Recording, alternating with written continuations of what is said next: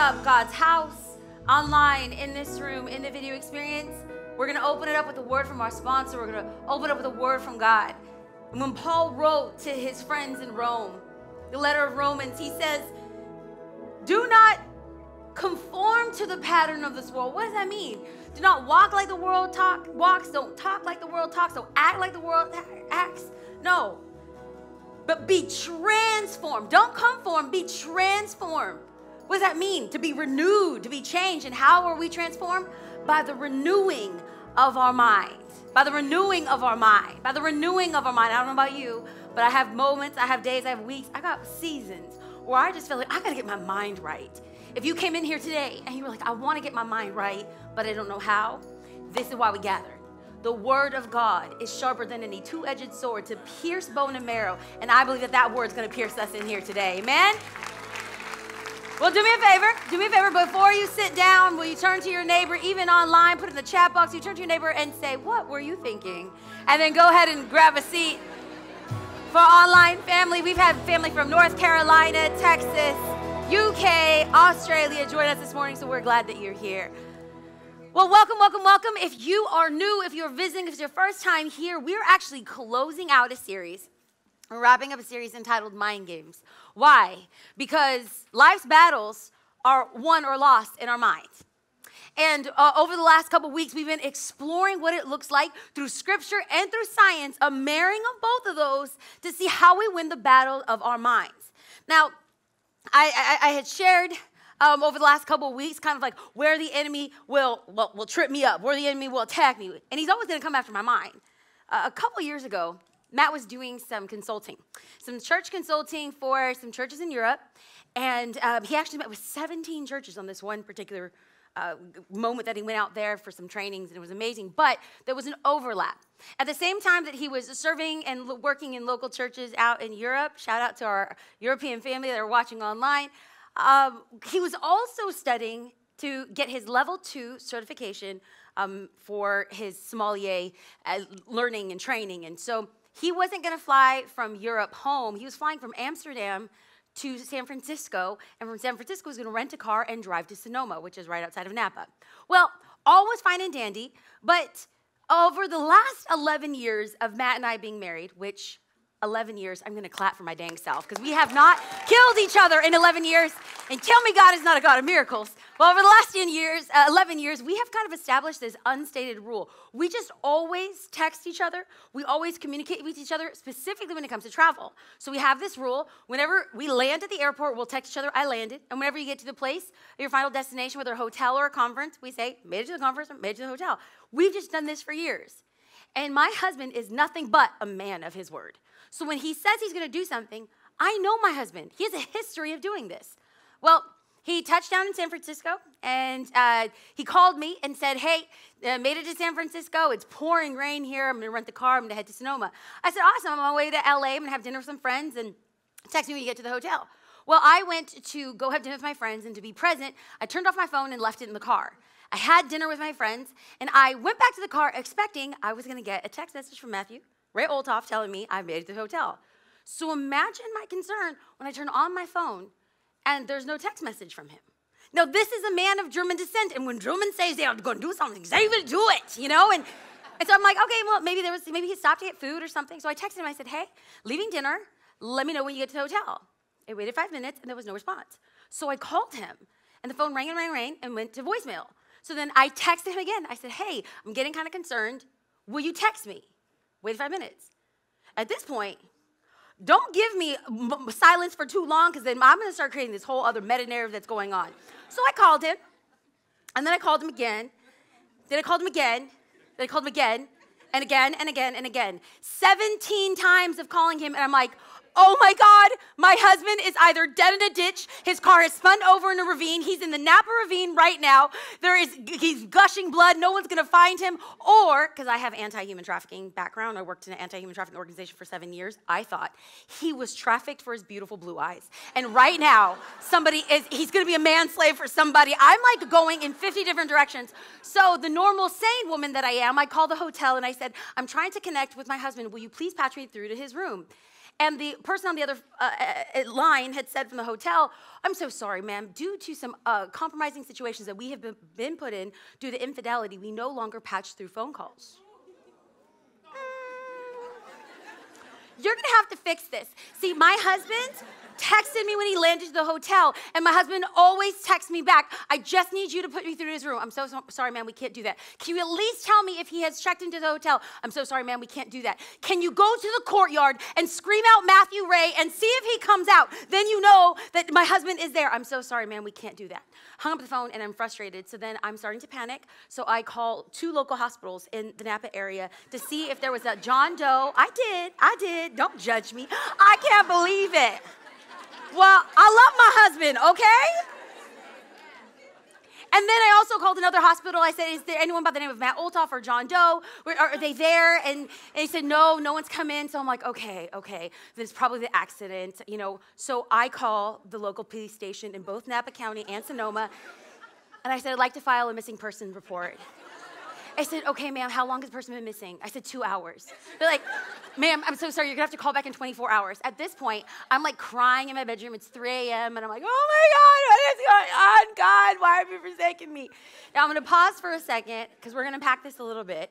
But it, you're gonna have moments in life where you find yourself asking yourself, what was I thinking? Now, when you have those moments, it's not the situation that's the issue, it's the root issue that needs to be addressed. So, what I began um, through the journey of uh, counseling and professional help and reading God's word and sharing tools with you today that have transformed my life, I realized that it wasn't necessarily, I was concerned for my husband, absolutely, but any sane person wouldn't file a missing persons report. What it really revealed is that I have a trigger, I have an issue, I have a fear, and that is abandonment. So, I'm losing my mind thinking something has happened to him because if my background, anytime that I was alone, something bad would happen to me. So the person who defends me, the person who protects me, the person who's with me cannot be found. I'm freaking out. So at 4 a.m. in the morning, I get a phone call and it says my Matthew on the phone because that's what I've saved him as. And I look at this phone and I pause and I was like, do I want to be saved and sanctified and a saint right now? Or do I just want to let him know how I feel? I answered the phone. I said, if you are not dead in a ditch, you will wish that you are. Okay, like what happened? He said, I'm so sorry. I'm so jet lagged. I just woke up. I face planted on the bed. I have my clothes on. The television's on. The lights are on. The phone's been ringing. I am so sorry. And so once we had that moment, we de escalated. I was fine. He was fine. Everything's fine. I asked myself, what were you thinking? Will you turn to your neighbor and say, what were you thinking? Put in the chat box, what were you thinking? That is also the title of today's message. Because we're all gonna have moments. You can sit there and judge me, but we're all gonna have moments where we find ourselves, instead of believing the best, we assume the worst, and we create a whole meta narrative of what we think is gonna happen that never does. Or you are preparing for a work meeting because you are, you are positive you're gonna get fired.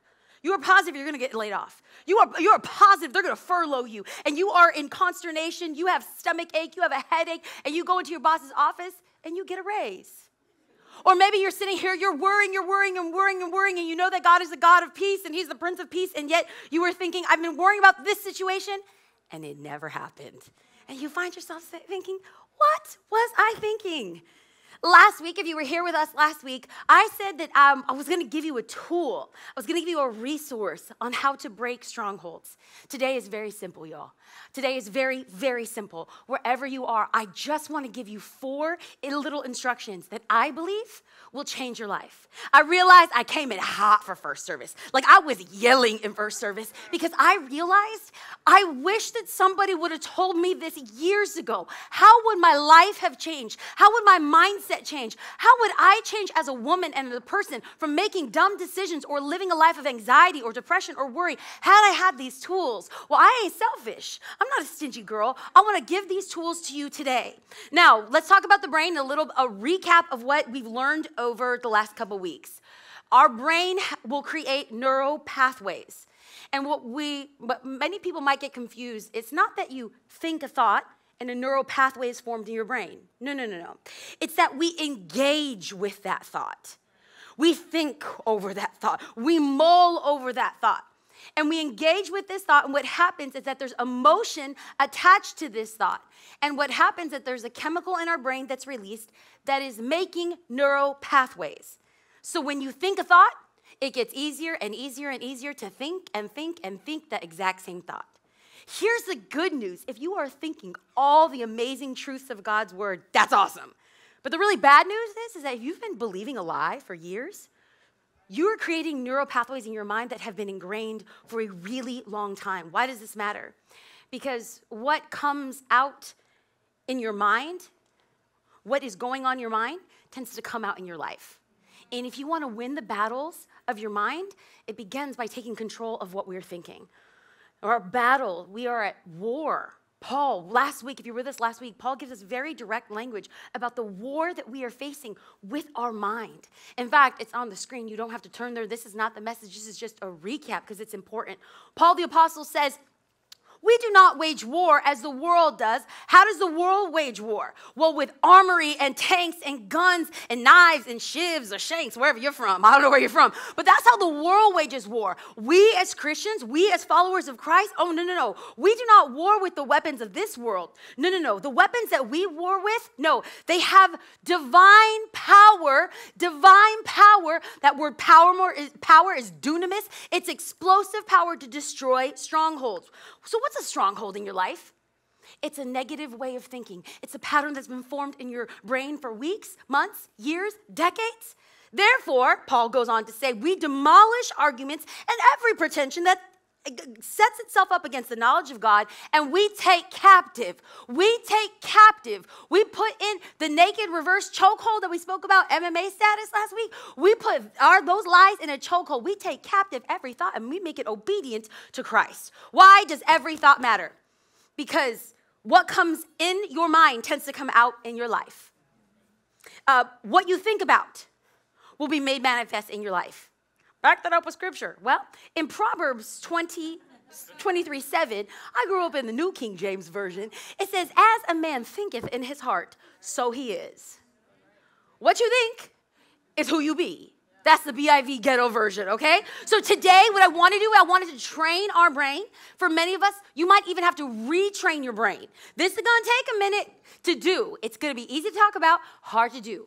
I'll be honest with you, this entire series was inspired and framed. This month is uh, um, Mental Health Awareness. Thank you, I'm really special today. Great. Mental Health Awareness Month. And we wanted this series to help put tools and resources into people's hands because we don't want people to walk around as victims. We are more than conquerors. That means we're victorious in Christ. We want to put these resources in your hands. And one of the greatest resources that has changed my life and even Pastor Matt, Matt's life, and where this series was inspired from, is Pastor Craig Groeschel has a book entitled Winning the War of Your Mind. Let me tell you something. This man has spent so much time on neurotheology. That's the study of God and the understanding of the brain. It is a phenomenal book. If you want to go deeper, highly recommend recommend that book. But today, what we want to do is we want to train our mind. Now, when we talk about training, you might think of like you got a new job and you're training for this position. You're training to be good at it. You're training to get a skill. Or you get a new puppy and you are potty training them so they don't have accidents in the house.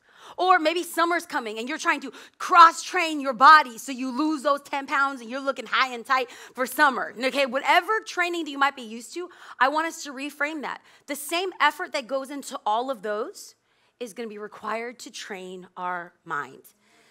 And this is where I want to start off because um, when we parallel training our mind, it's going to take enough, as much intensity as training our bodies.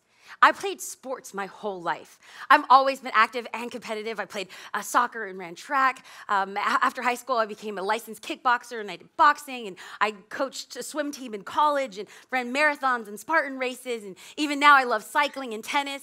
Uh, our worship leader, who led so beautifully this morning, he probably don't want me to announce right now that I have beat him at tennis a couple times. I mean, I've lost more than I've won, but still, but still, shout out Darius Sneed. All right. Uh, so, so, so uh, this, uh, this concept of, of training is one that I love. It's one that I get. But the older that I get, honey, let me tell you something. It ain't about box jumps. It, it ain't about CrossFit. It ain't about HIIT training no more. In fact, the trainer at my gym, she will always yell at us. You cannot out-train a bad diet. Meaning, meaning, it's not just what you output and what you bench at the gym. It's what you put into your body. Okay. Now, this is a great illustration for our mind. Why is that? Because it's not just how we're thinking, it's what we're putting in our mind.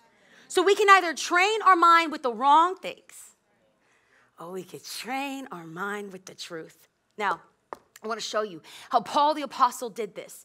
He uh, he begins to transform his mind and his thinking, and we even see this in his writing. In fact, we see this man who's warring within himself in the book of Romans. He says this: "The things that I want to do, I don't do, and the things that I don't want to do, that's the thing that I do. Oh, what a wretched man that I am!" And yet, in the passage we're about to dive into right now, this is a different person. So, if you brought your Bible, turn uh, with me to Philippians chapter four. Philippians chapter 4, beginning in verse 8. And as you turn there, um, I, want to give you some context. Now, I alluded to this last week. Side note, side note, side note. Pause for a second. How many sanctified saints have been in here? Not one, not two, not three, but all four weeks of this series. Will you raise your hand? Yes, that's right. Extra crown in heaven for you. Yes, yes, yes. You're going to have a good week. You're taking control of your mind. You're willing to do the work. Extra blessings upon you. Now, Paul the Apostle, when he's uh, writing this, he's not writing this from Turks and Caicos. He's not writing this on a, a tropical beach eating bonbons with a frothy beverage and an umbrella in it. You know where he's writing his letters to his friends in Philippi? Does anyone know? He's in prison. And not just that he's on house arrest, this is what we would consider to be death row, because he's there's an impending persecution, there's a pending execution. This is the worst case scenario. This is dead man walking. And he writes this letter and he said, Hey, yo, oh, one more thing I gotta tell my bros and my sisters. He says this finally, brothers and sisters, one last thing. You know what he doesn't say? He doesn't say, oh, Oy vey, God has forgotten me. I'm here in this forsaken prison. He does not say, I can't go on with my life. You guys have all turned your back on me, and so is God. He doesn't say things could totally be worse than this. No, no. You know what, he, what he's saying in his final words, which might be the very last words that he's giving his friends? He says this Finally, brothers and sisters of TFHOC, whatever is true, whatever is noble, whatever is right, whatever is pure, whatever is lovely, whatever is admirable, whatever is excellent or praiseworthy, think about such things. So, the question that I'm asking it, when we think about the decisions that we make or the words that we say or the people that we engage with, the question that is, is pervading this entire time together is what were you thinking? When you made that decision, when you said that thing, when you decided to go there. See, what comes into our mind will come out in our life. I mentioned that I grew up on the New King James Version. At the end of this other translation, um, Paul says, whatever is good, whatever is true, whatever is noble, whatever is praiseworthy, whatever is virtuous. But he doesn't just say, like in the NIV, the version that we just read about, that version said, think about such things. But the New King James Version or the old school King James Version, does anyone have that Bible? What does it say? Oh, yes. Give me old school. What does it say? Not right here. It's a cheat code, I'll tell you. It says meditate. Thank you, Preston. Yes. It says meditate. Meditate. Ooh, that's a word that many of us are used to. And I know someone out here is sitting cross armed, like mean mugging, saying, meditate. Isn't that some Eastern philosophical demonic thing that makes us sit cross legged and a namaste and, and go into enchantment and nirvana? That's one definition. But let's take a look at the root word. Because the root word comes from a Latin word, masticando. What does that mean? It means chew. It means chew. So I've given this illustration before, but I feel like it bears weight just given the context that we're about to dive into. But when this word chew is discussed, it's not just chewing to digest, it's chewing to mull, over. So we even have an English expression, oh, I'm just gonna chew on it. That means it's gonna hang out for a second. So let's use this in an understanding that an agrarian society, a, a, a, a farming culture would understand. A, cow has several stomachs. And when a cow grazes or eat grass, it'll chew it. That's masticate, masticando, it's chewing, it's meditating, and goes into its stomach. But that's just not all that it does. When he is hungry, again, they will vomit it back up into their mouth and chew. They will meditate on it all over again. Chew and chew and chew, and then they swallow it. And then what else do they do? There's more nutrients in there. So I'm to chew and chew and chew. And when we talk about meditating on the word of God, I need that to come to mind. Whatever is true, whatever is true, whatever is pure, whatever is good, I'm gonna chew and chew and chew. I'm gonna swallow it. And then I'm gonna then I'm gonna come back up and I'm like, oh, whatever is praiseworthy, whatever is virtuous, whatever is good, I'm gonna chew and chew and chew. And guess what? You got problems, you got issues, you need a word. Guess what? I'm gonna do? Oh, I got you. I have been meditating on this goodness and I'm gonna share it with you. That is meditation. Does that make sense? So, a definition, a simple definition of meditation is this to engage in mental exercise, to focus one thought. In fact, if you look at scripture, there is a number of godly people who are meditating. We see this word used commonly in Psalms. Look at what the psalmist says in Psalm 119 15. I will meditate. God, I will meditate on your precepts and consider your ways. In other words, I am going to focus my mind on Christ. I'm going to think about God. I'm going to think about all his goodness. I'm training my mind to see the truth. What about Psalm 40, 143, 5? I will meditate, God, on all your works, every good thing that you have done, and consider the works, uh, to consider what your hands have done. Now, again, I've mentioned this before. In Eastern meditation, the premise is that you empty your mind and try to focus on nothing. In Christian meditation, we fill our mind and we think about Christ. That's the difference. So, I practice yoga and before anyone asks me or leaves a comment saying, Don't you know that's demonic? Listen, if we believe that God can redeem all things, do we believe that God can redeem stretching?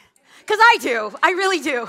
And they're like, well, be careful the things that they're saying. Absolutely. So when they say namaste, I say have a good day. All right? When they say words I don't understand, I'm to pray. All right? Every posture, every pose, every moment of solitude, I'm taking that to think about Jesus.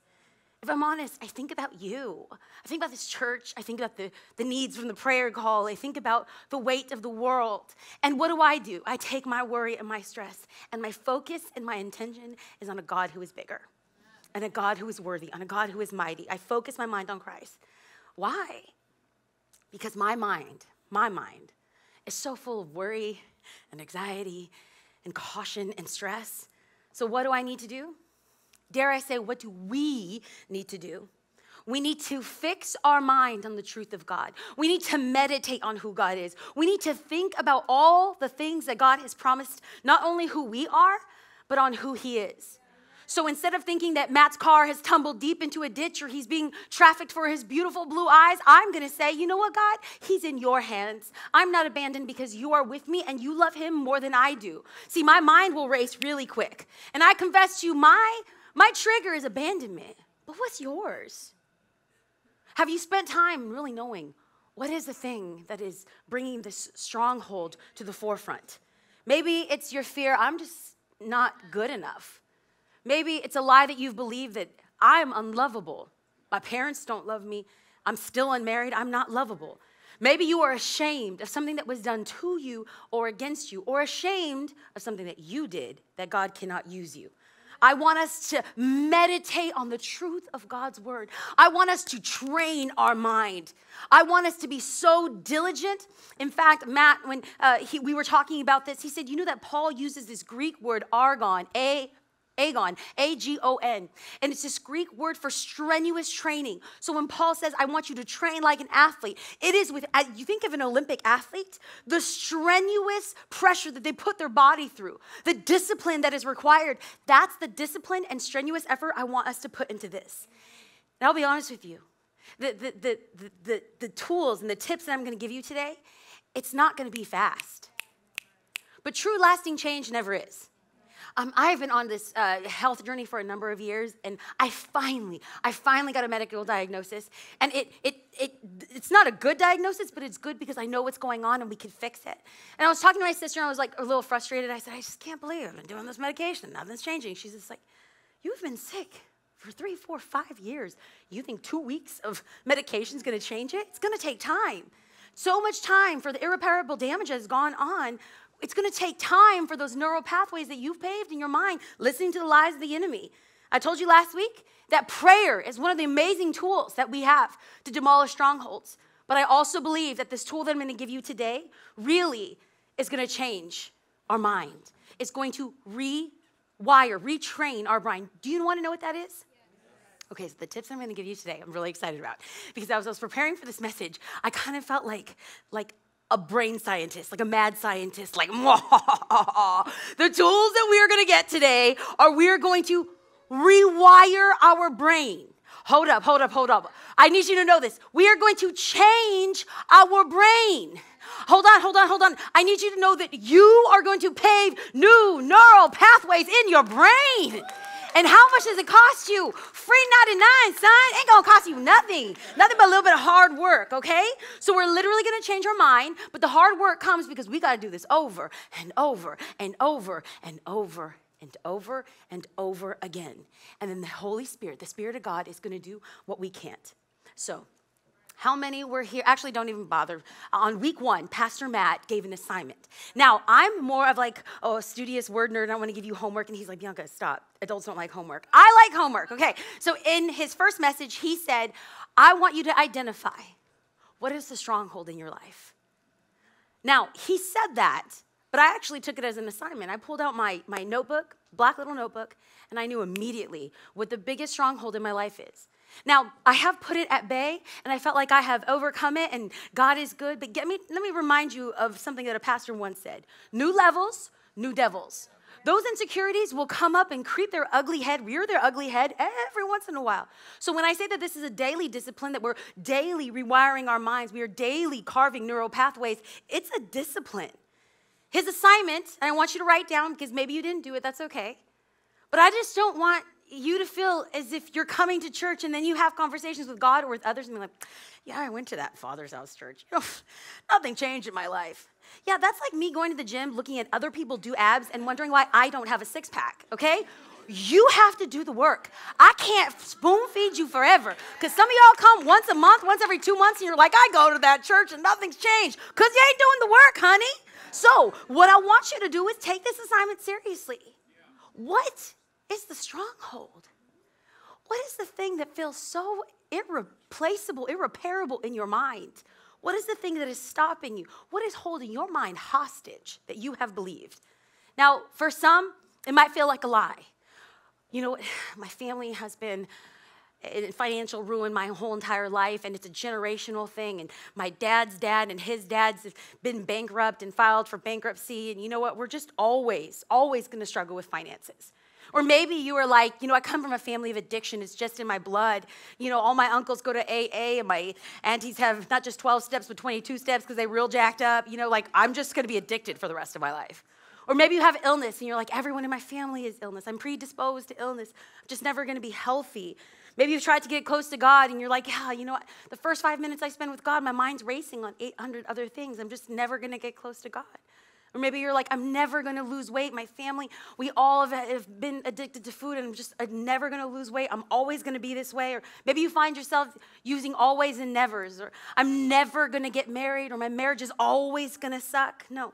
What's the dominant stronghold that has held you captive? Where the enemy has lived rent free in your mind and you need to serve an eviction notice. I really want you to think about it. That's part one. Now, this is my question. That was his question. Now, my question as we tie up this series is this What spiritual truth from God's word demolishes that stronghold? What spiritual truth demolishes and obliterates that life straight from the pit of hell? Now, when I talk about truth, I'm just talking, I'm not talking about some Instagram meme or Pinterest, you know, fun little quote. I'm talking about the truth of the word of God. That word will demolish strongholds. So I want to go into God's word and I want to remind us today, hey, get into the word of God because getting into the word of God renews our mind. We are looking at our inefficiencies and our lack and our deficiencies and we look at the word of God and we see how powerful God is how strong God is, how intentional God is, and the plans that He has for us. That's why this is so important. So um, I, I, I, created like a flow. Um, it's, it's not like for tips. It's just part of the exercise. It's part of the practice. It's part of the thing that's going to change you and your mind. And when you change your mind, you change your life.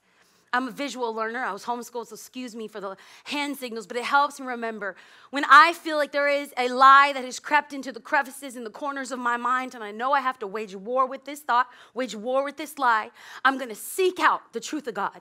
I'm gonna go to the pages of Scripture, I'm gonna seek out the truth of God. And then when I believe that God's word has spoken to me, I'm gonna write it out. So I'm gonna seek out this truth and then I'm gonna write it out. Then when I write it out, I'm gonna say it out loud. I'm gonna declare it. I'm gonna declare the word of God. I'm gonna declare it and declare it and declare it until I believe it. So I'm gonna seek out the word of God. I'm gonna write out his promises over my life, I'm gonna declare it until I believe it, okay? And guess what we're doing when we do that? We are creating new neural pathways. I want to give you the keys to set yourself free from the ochuroma, the stronghold that has kept you captive in the lies of the enemy. Now, I know this feels so, a little overwhelming, so I just want to break this down. We'll break this down. We're going to have a little school, make it real simple. I'm actually going to give you prompts in here today to make this super easy. So, now, the prompt on the, one, on the wall right now, this is just a starter, okay? This is like a sourdough yeast starter. This is just a little bit of the old mole that makes the new mole good, okay? What you're gonna do is you're gonna take this and then you're gonna beef it up, okay? So maybe you, you're here today and you feel like, gosh, I just don't know what God's will is for my life. I feel like I'm lacking direction. I don't know what to do next. Guess what? Guess what? God's got your back. My life belongs to God. Daily I seek him and daily he directs my steps. Doesn't that sound like Proverbs 3 5? Wow, I know his voice.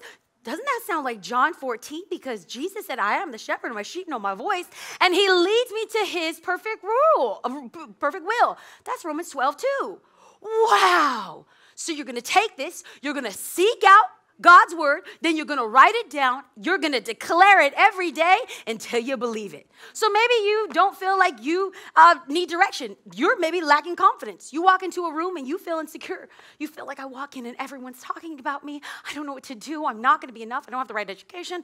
I don't have the right wherewithal. I don't know the right people. I don't hobnob with the snobs. Guess what you're gonna say over your life? My confidence is in Christ and Christ alone because his spirit lives within me. You know what Paul says? Paul says that I am more than a conqueror in Christ. Wow. And I can do all things. I can do everything he calls me to do. What verse does that sound like? Philippians 4:13. That's right. That's right, Mickey Bible scholar, front row. See y'all, front row. See the front row. Spirit of God will hit you. All right, here we go. Maybe like maybe confidence isn't your thing. Maybe you got lustful thoughts. Maybe you feel like that thing that you are desirous of. I want to be desired. I want to feel turned on. I want to feel loved or an object of attention or affection. But I also know that I want to renew my mind. That's not for me. This is what you're going to start saying over yourself every day, every day. I'm not a slave to lustful thoughts because God has purified my mind. You know what that reminds me of? Isaiah 118, that though my sins be like scarlet, he will make them white as snow. I will honor him with my eyes and my thoughts, like Joel 30 says, My God is faithful. Even if I am tempted, he will always give me a way out. That's 1 Corinthians 10 something. I don't know. I forgot it. Vacation Bible school. Maybe lustful thoughts ain't your thing. Maybe comfort and food is your thing. Maybe you're like, I have been in my family and nobody loves me like a good chocolate cake. This is what you're going to do when you're standing tempted in front of the refrigerator. When I am stressed, I turn to God, not to food. Psalm 130, verse 5. I come to Jesus because he is what I need. In him, he is sufficient. In him, I find my strength and comfort. Maybe it's not food. What if it's worry? I'm just a worrier. I'm a worry war. I worry about everything. I worry about worry and what worry is doing to my health. Guess what you're going to say? Because of Christ, I am not anxious about anything. What does that sound like? I will not be anxious about anything, but everything I will cast my cares. Philippians 4.13. Press God. No, no. Philippians Six, yes, 4 6, honey, that's right. I cast my cares on God because He cares for me. First Peter, First Peter chapter 4. I have the peace of God dwell, dwelling in my heart and ruling my mind. Well, guess what Isaiah says? That he is the Prince of Peace. Now, here's the thing. So here's the thing. I want to calm everyone's nerves, and you were like, um, I never went to vacation Bible school. I don't know these Bible verses. It's all good. You know what you got at your fingertips? Ooh, our generation is so blessed. You know what we have? Google, okay? So this is what you do. This is what you do. You say Bible verses about, and you enter in your stronghold. I guarantee you, Google is like the Spirit of God. It'll tell you what you need, all right? So what you're gonna do is you're gonna seek out God's word. You're gonna write God's word. You're gonna declare God's word, and until you believe God's word, all right? That's what we're gonna do. Now, in a moment, we're gonna stand up and we're gonna give God worship. We're going to give God our worries. We're going to give God our cares and our anxiety.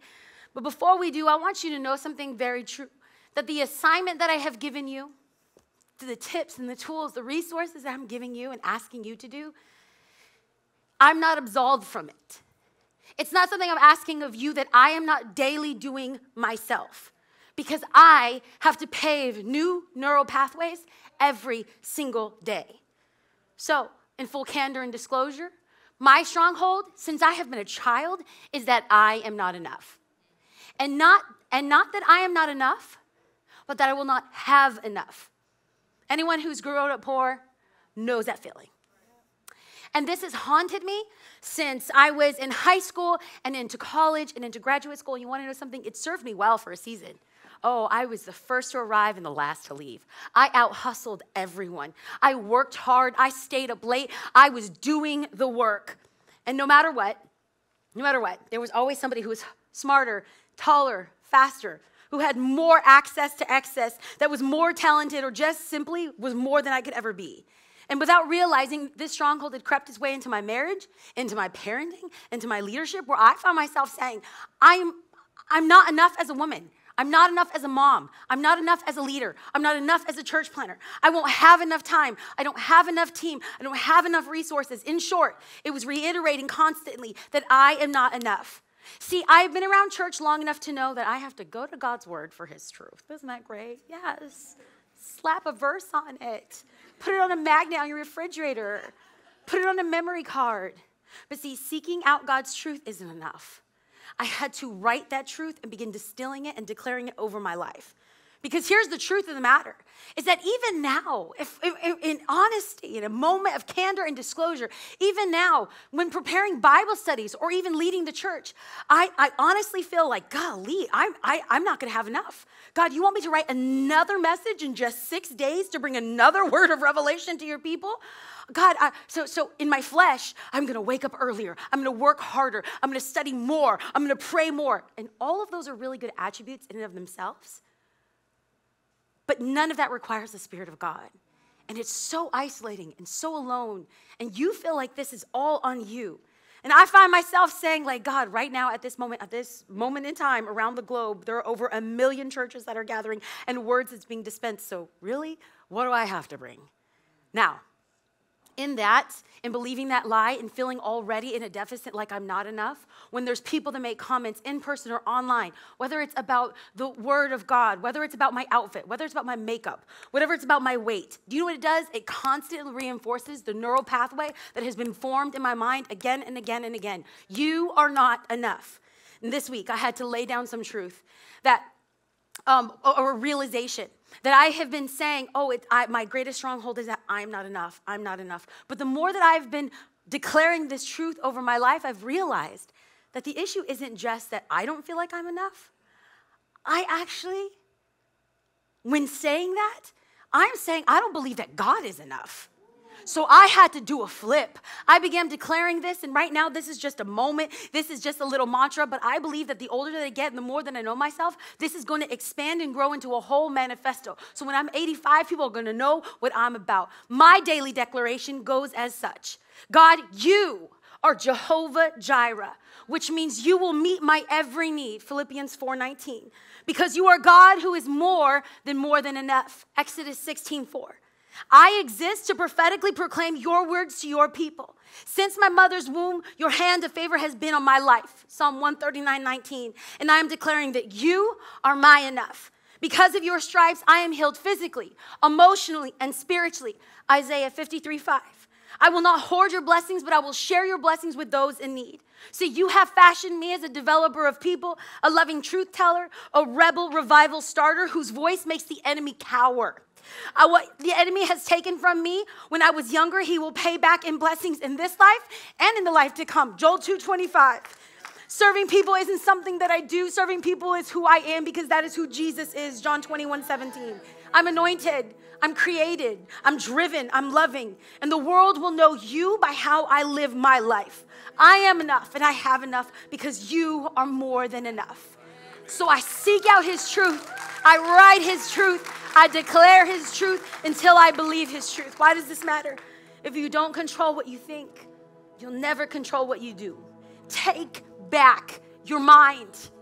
Take back what the enemy has stolen from you, the lies that you have believed.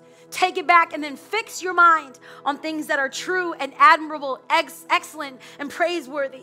What are you gonna do? You're gonna seek out truth. You're gonna write truth. You're gonna declare truth until you believe the truth. And as followers of Jesus, what will we not do? We will not be conformed to the things of this world, but we will be transformed. How will we be transformed? Okay, well, it's not by trying harder or doing more or losing more weight or getting another degree. No, no, no, no. The greatest power that we have to overcome lies is the truth of the Word of God.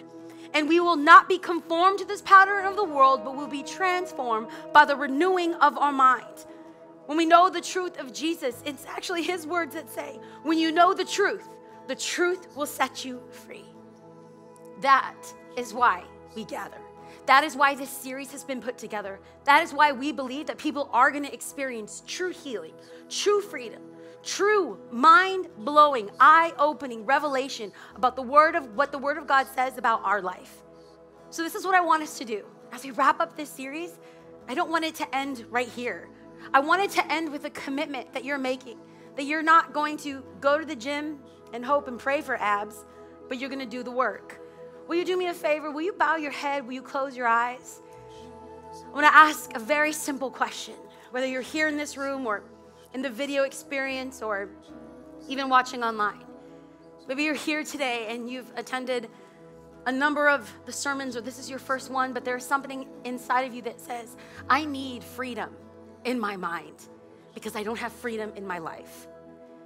If that's you and you need the Spirit of God to touch you and reveal, God, I know my stronghold, or maybe you're like, God, I don't really know my stronghold, but what you do know is that you need His Spirit to help you pave new neural pathways in your mind. Will you do me a favor right where you are? Will you raise your hand so we can pray for you? There's hands going up all over this room, in the video experience, and even online. There's someone there that can see your hands. By raising your hand, you are simply admitting, God, I need your help because I can't do this alone this, this lie that I believed, this, this ochuroma, this stronghold in my life has kept me, kept me at bay for too long. I want to step into what God has called me to. So, Spirit of living God, you're in this place. You see people with their hands raised. You see people in desperation, waiting for you to move on their behalf. God, will you show them how? May we seek out your word. May we write out your word. May we declare your word until we believe your word. Spirit of living God, we need you. Will you breathe on us? Will you breathe on us to do what only you can do? We need you. We believe in you. In Jesus' name. With every head still bowed, every eye still closed, the greatest transformation that will take place and will precurse, will be a precursor to the transformation of your mind is the transformation of your heart. If you're here today, somebody brought you, or you're watching online and you've never received Jesus as your personal Lord and Savior, Maybe, maybe at one point you have, but you have since walked away. You're not living the life that you know God, Christ has called you to. But this is your opportunity today. Whether saying yes to Jesus for the first time or you coming back, what the Bible refers to as repent. If that is you, we want to create that opportunity. On the count of three, I'm going to invite you to raise your hand. And by raising your hand, one, you are saying, I want Jesus as my personal Lord and Savior. Two, by raising your hand, you are saying, My mistakes and my failures, what the Bible refers to as sin, is removed because of what Jesus did for me on Calvary. And three, the same spirit that resurrected Jesus from the grave, as Romans tells us, will live in you. So if that's you, one, two, three. Will you raise your hand in this room, in the video experience? God bless you. God bless you. God bless you. God bless you. God bless you. In the video experience, there's someone there that can see your hand. If you're online, put a hand emoji in the chat box, and someone there will see your hand as well. But this is what we're going to do. We are celebrating with people that are taking their step in encountering God the true transformational aspect of receiving Jesus as your personal Lord and Savior. So, church, we want to let those that raise their hand know that they're not alone, that they're part of our crazy family. Yes, let's celebrate. We are celebrating because people are experiencing spiritual freedom. Amen. So, so what we're going to do, we're going to pray collectively as a church, and then we're going to stand and worship. Because what is worship? Worship is prayer set to melody and harmony and rhythm. Prayer is set when we sing out to God. So, will you repeat after me? Will you say, Jesus, forgive me of my sins? Today I choose you as my Lord and Savior. Cleanse my heart, cleanse my mind, cleanse my conscience. Let me fix my mind on you In Jesus' name, amen. Let me stand up. Can we celebrate what God has done?